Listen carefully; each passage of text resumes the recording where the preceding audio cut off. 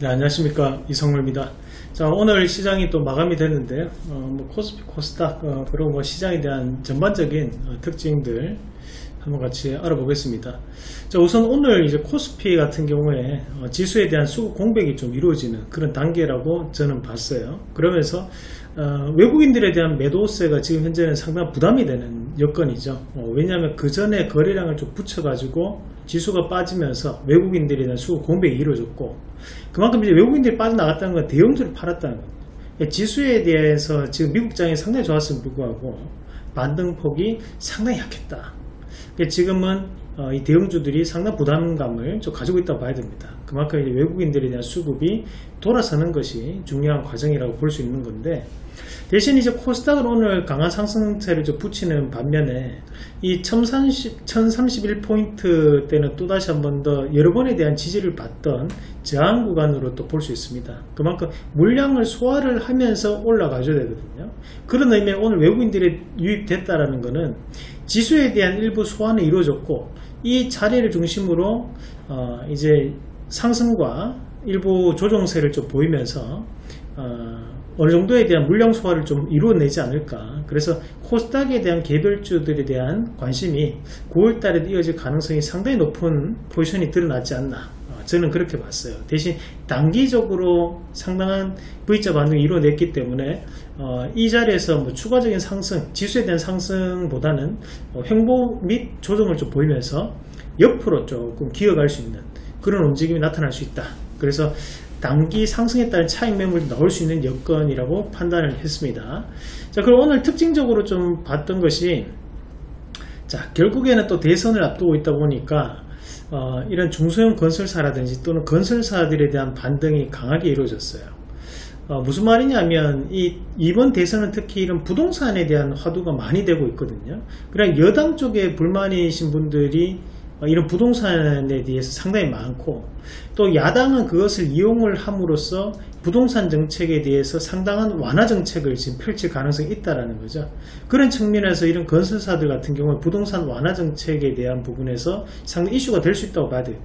우리가 2007년도에도 이런 부동산에 대한 화두가 있었는데 그때도 마찬가지로 이런 건설주들이 좋은 모습을 보였다면 이번에도 마찬가지로 이런 건설주들에 대한 반등세가 좀 보일 수 있다. 그럼 우리가 개별적인 부분에서는 뭐 지방 소형사들, 뭐 지금 KCC 건설이라든지 또는 뭐 화성산업 같은 기업들도 괜찮았고 GS 건설 뭐 이런 대형사들도 좋은 모습을 보였던 것이 추세적인 부분으로 이어질 가능성이 높다고 저는 보고 있는 부분입니다. 그래서 금리는 인상했지만 실질적으로 부동산 가격을 찾기에는 상당한 힘이 될수 있다. 왜냐하면 부동산에 대한 금리 인상은 부동산 가격에 대해서 발목을 잡을 수 있지만 부동산 완화 정책 같은 경우에는 부동산에 대한 발목을 잡기 상당히 어려운 부분이거든요. 어, 그런 어, 부분이 상쇄하지 않을까 그렇게 봅니다. 자, 그리고 이제 foldable 관련주 오늘도 좋은 모습을 보였는데 뭐 KH 바텍이나 또는 이제 파인테크닉스 그리고 뭐 세경하이테크라든지 또는 오늘 또 카메라 모듈 관련주를 또다시 반등을 좀 붙였어요. 그리고 이제 PCB 관련 마찬가지였고 어, 대신에 우리가 이런 foldable 관련주들 같은 경우에는 단기 trading 관점으로 봤을 때는 한번 이익 실현을 해줘야 되는 단계라고 저는 판단해요. 왜냐하면 일전에 이 베트남 관련해 가지고 지금 봉쇄에 대한 부분이 상당히 커지고 있는 상황이기 때문에 베트남에 특히 이런 스마트폰 관련된 공장들과 그리고 이제 소비자 가전, 가전되는 제품들에 대한 부품 공장들이 상당히 분포를 좀 하고 있습니다. 그런 측면에서 이런 가동에 대한 부분 자체가 일시적으로 중단이 된다면 그에 따른 3분기 실적에 대한 부분도 악재로 여겨질 가능성이 있거든요. 이 뉴스가 사실은 지난주부터 계속적으로 포커스가 좀 현지에서 나오고 있는데 국내 증시에는 종목군들이 이 부분하고 별개로 상당히 좋은 모습 보이고 있어요. 저는 이것은 일종의 divergence라고 보고 어, 단기 상승에 따른 차익 매물은 우리가 할 필요가 있다. 그래, 어, 좋으니까 내일도 또 좋겠지.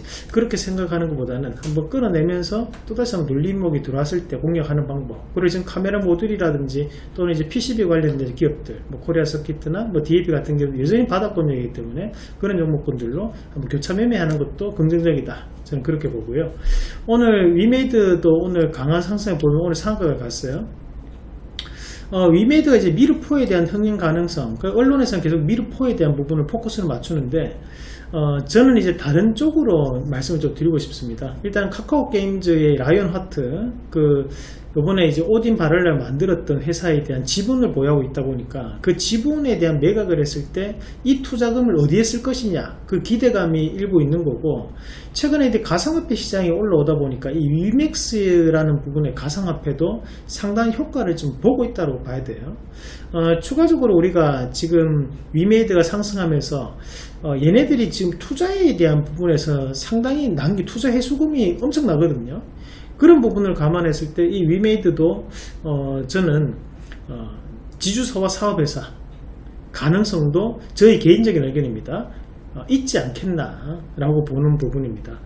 어, 그리고 지금 NC소프트가 주가가 많이 빠졌는데 어, 이 NC소프트가 지금부터 이제 반발 심리로 인해서 일부 반등은 가능하겠지만 예전처럼 그렇게 넘어온다는 건 힘들다고 봐야 돼요. 그만큼 파이가 어, 커진 것은 아니거든요. 게임에 대해서. 이 파이가 지금은 오딘 쪽으로 좀 넘어오면서 이 NC소프트가 위기에 대한 부분이 아닌가 어, 그렇게 봅니다. 그래서 오늘 상한가를 갔다고 하더라도 이런 상한가 같은 종목은 일절가를 상향하는 거지 우리가 여기에서 신규적으로 접근하기는 조금 어렵거든요. 그 부분을 감안을 하면서 시장을 보자. 그리고 여러분들 오늘 좀 놓칠 수 있는 뉴스 중에 한 개가 이 메타버스 ETF가 어 이제 다음 달 9월 달에 첫 선을 보입니다. 네 종이 출시가 되는데 이런 ETF가 출시된다는 것은 테마가 아니라는 거거든요.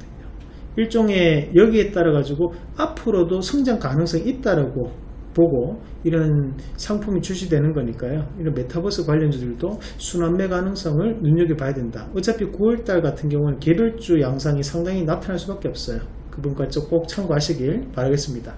제 뒤에 수익률 화면이 나와 있는데 어, 저희가 이제 6월 달부터 어, 지금까지 약 두 달간 어, 수익률이 제가 지금 이번 달에도 어, 이제 1등을 했습니다. 그래서 6월 달 7월달, 8월달, 그 지금 두 달이죠. 두 달이 지난 동안 27% 정도 수익이 났고, 저희가 여기에 이 수익은 실제로 여러분들께 추천을 해드리는, 회원들께 추천해드리는 종목만을 사야 돼요. 그렇다 보니까, 어, 뭐 상당히 뭐 뜻깊습니다. 뜻깊고요. 그래도 우리가 항상 이런 똑같은 매매를 할 때 매집되어 있는 차트에 대해서 수익을 극대화하다 보니까 또 이렇게 좋은 수익률이 낮지 않나 그렇게 봅니다. 어, 그래서 어, 앞으로도 어, 지금 8월 달인데 또 9월 달까지도 1등을 최대한 유지를 하면서 여러분들께 또 좋은 수익 보여드리도록 하겠습니다. 어, 마찬가지로 저희가 이번 주는 역대급 할인 이벤트를 또 진행하고 있습니다. 제가 지난주 2등이었고 이번 주는 또 1등을 기록했고 또 지금 두 달간 또 때마침 1등을 지금 기록하고 있는데 물론 딴분다 잘하세요. 잘하시는데 제가 조금 더 운이 좋았던 거고요. 어, 이런 좋은 운대를 9월달에도 어, 이어갈 수 있도록 또 여러분들께 또 좋은 기업들 소개해 드리도록 하겠습니다. 자, 오늘 시장 얘기는 이렇게 마감하고 또 내일 또 여러분들께 좋은 내용 들려드리도록 하겠습니다.